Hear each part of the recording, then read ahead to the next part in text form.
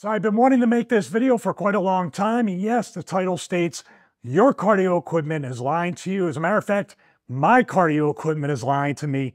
All of our pieces of cardio equipment, all our pieces of smart fitness equipment, all our wearables to a certain extent, depending upon where it's placed, are all lying to you. What I mean is, most of these pieces of equipment, whether it be smart fitness, a regular treadmill, elliptical, bike, or even a wearable, are using an algorithm that's very generous when it comes to calories burned, miles traveled, distance, all that stuff, especially calories burned. Because as a man who's 52 years old and trying to still lose fat, lose a bit, a little bit of weight, change my body composition, and stay as fit as I can, the amount of calories in and also calories out, making sure I'm at a caloric deficit is extremely important. And if the calories, like we're going to show in a minute here, are off, are inaccurate, then you don't have a good gauge of being in a caloric deficit because you're counting on metrics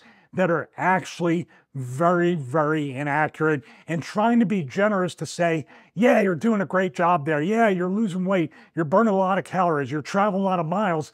But in the end, they're actually hurting you and not helping you. Now let's look at here. I have 283 workouts completed, 426.05 miles traveled, 71,365 calories burned, and an average pace of 13 minutes, 20 seconds. Now, when we look at this, obviously 283 total workouts is accurate, but then the distance, for me especially, the calories and the pace, depending upon your goals, if these are off and inaccurate, say you are running for time and you're running a pace that you want to make sure you're running a 5K, a marathon, sprints, whatever, then the average pace and the total distance here are definitely, definitely important. But the most important metric for me is calories burned right there. And we're going to add all this up, all three metrics, comparing it to Apple Fitness. Now, once again, I'm wearing an Apple Watch, which is pretty accurate, but the most accurate way you're going to get your heart rate, calories burned, and all that stuff is with a chest monitor, a heart rate monitor that you put on your chest. You can always pair it to your Apple Watch, your Samsung Watch, your Garmin Watch. You could pair it and still use it and get the benefit of looking at everything here on the watch. But right here is going to be slightly inaccurate compared to this, depending upon the algorithm, but definitely holding on to the heart rate monitors on a piece of cardio or something like that, it's going to be all over the place. And that's how we got most of these readings based off of that. So here's all the totals here, but I'm going to go to the, my most recent workout. And here we are right here. You can see we have 4.5 miles, peak of 4.7. That's the average what I've done over the 283 workouts. We have an incline of four right here. And then the heart rate is where it gets a little tricky. An average heart rate of 80 beats per minute. My peak is 108, but it's always kept me at that low end, no matter how hard I'm working on the treadmill, running, doing intervals or anything like that.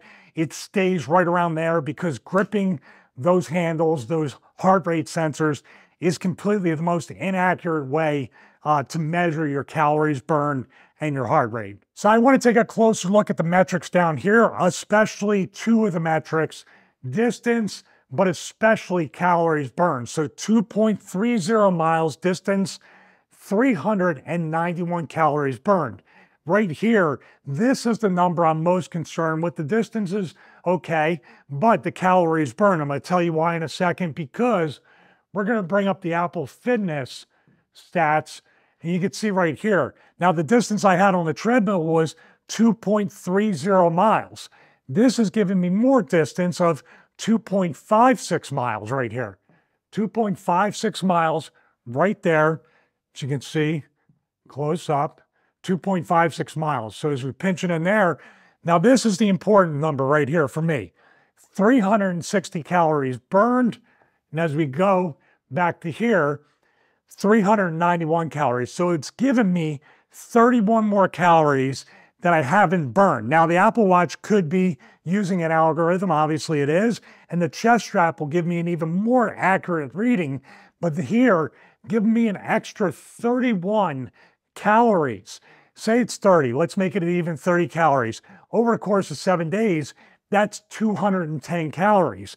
Over the course of 283 workouts, that's a lot. We're going to bring that up because I can't do the math right now. But look at this. This number compared to that number is very, very different. Now, the number that doesn't really concern me, but once again, we are completely off right here. An average pace in Apple Fitness using the Apple Watch is right here, 1211 per mile. We go over here, bring it up, 1320 per mile. So it's off by a lot. This isn't off by much, the 391 and then comparing it to the 360. But for me, that still adds up.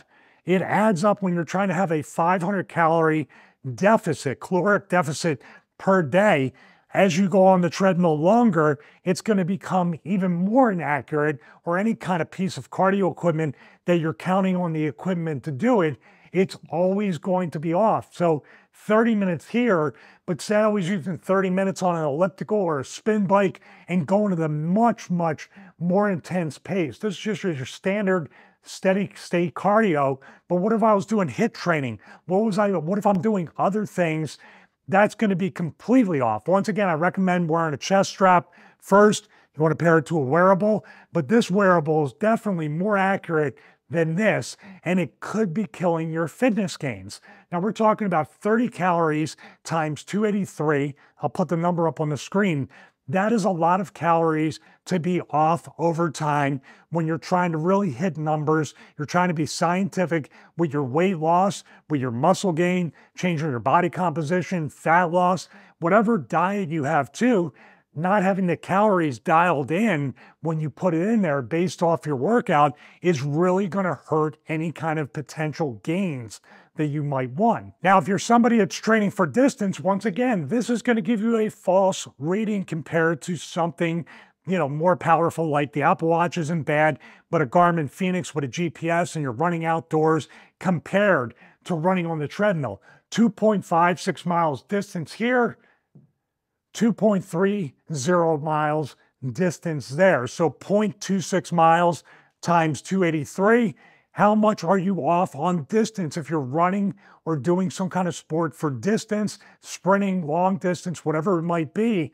This really does throw it off. And like I said earlier, most people do understand this, but for the people that don't, I really wanted to really demonstrate the numbers here and how much you can be off the longer you train during a session and the amount of workout sessions you do when the numbers and the metrics are completely off. So that's about it. I just wanted to show this to you. Hope you're getting value from this. And like I said, as a man over 50, as a man who's 52 years old, it's very important to get these numbers as accurate as possible. And then when everything's off and I'm not quite understanding, it could be something as easy, and maybe you're in the same boat, something as easy as counting on the wrong type of metrics and numbers in your fitness journey. So please invest in a heart rate monitor on your chest, pair it with the Apple Watch, or at least have something like an Apple Watch, which really does about as closely resemble the chest mounted or the chest heart rate monitor that you would normally use. I've been very satisfied with mine,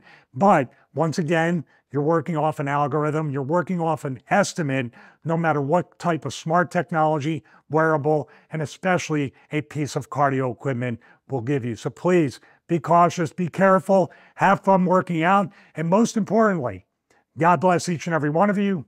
Have a great day.